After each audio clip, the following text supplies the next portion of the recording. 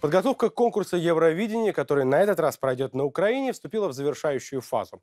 Во вторник в Киеве состоялась встреча представителей Европейского вещательного союза с руководителями национальных делегаций. Обсуждали участников, все они уже известны.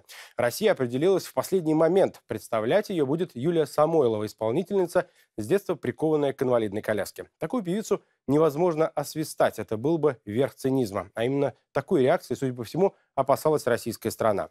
Как рядовые киевляне отнеслись к решению Первого канала в нашем опросе? Ну, вы знаете, мне кажется, что это, ну, как бы шантаж со стороны России. Какую-то жалость может вызвать. Ну, в принципе, я сегодня смотрела ее песню, неплохая. Она инвалид, и это уже немного несправедливо по отношению к другим участникам. Есть Олимпийские игры, а есть Паралимпийские игры, и это все равно, что их объединить. То, что она с инвалидностью, я считаю, это хорошо. Это показывает, что люди с ограниченными возможностями имеют такие же шансы, как и обычные люди. люди звичайні. На мой взгляд, вообще это не совсем честно, когда разновесовые категории, без всяких как бы отрицательных эмоций к этой девушке, просто сама ситуация не совсем справедливая. Э, Мировая аудитория скорее э, ей красную дорожку, да, скажем так, выстелит, не будет объективно оценивать ее вокальные там способности или качество ее музыкального номера. Отрицательно. Ну, потому что она сразу будет сожаление вызывать. Ей будут сразу ставить высшие какие-то баллы. Должна же Россия вызвать чувство жалости, печали, знаете, вот, что вот... Ну, это все-таки пиар какой-то. Продолжим тему с экспертом Deutsche Welle по Евровидению Андреем Бреннером. Андрей, ты много раз в качестве специального корреспондента Deutsche Welle освещал конкурс Евровидения, поедешь в этом году э, в Киев, я надеюсь. А как Германия отнеслась э, к выбору России? Немцы оценили ход России, как тоже справедливо Э сказал. Они предположили, что в Киеве Юлию Самойлову, певицу-колясочницу, вряд ли освистают. А ведь российским исполнительницам уже доставалось на конкурсах Евровидения от публики. Это было в Вене, это было в Копенгагене. Впрочем, проявления недовольства, они были адресованы не этим певицам, а российским властям.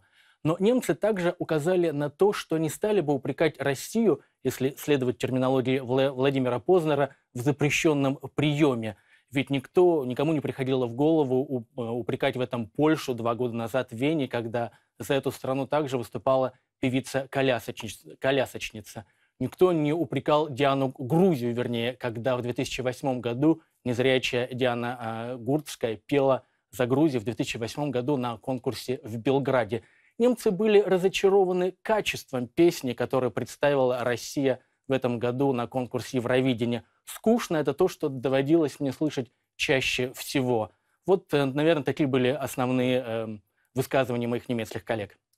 Самойлова выступала в Крыму после того, как он перешел под контроль России. И в этой связи в Киеве раздаются призывы запретить ей въезд в страну. Давай послушаем, что э, сказали во вторник представители Европейского вещательного союза и представители украинского правительства. Мы полностью понимаем украинские законы. И, конечно, это решение должны принимать представители украинской власти, а не Европейский вещательный союз. У нас нет никаких претензий к участникам со стороны России, к российской делегации. Они не нарушали никаких правил европейского конкурса песни. Ми не маємо наміру свідомо Мы не намерены сознательно затягивать окончательное принятие решения. И наша задача, с одной стороны, быть в духе традиции Евровидения, как песенного праздника и песенного конкурса, в котором соревнуются сильнейшие.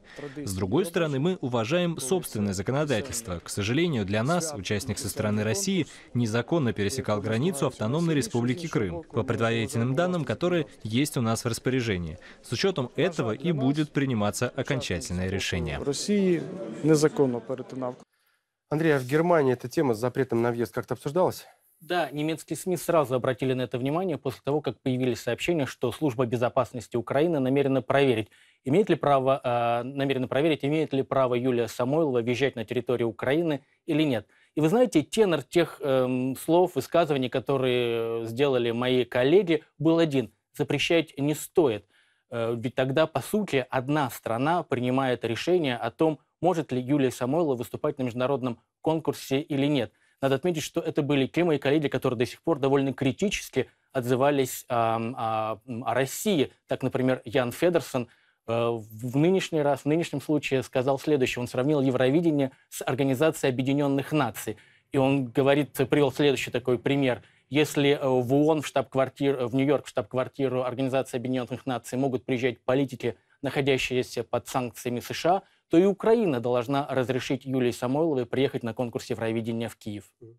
Конкурс Евровидения не раз обвиняли э, в политизированности. Что отвечают на это организаторы конкурса?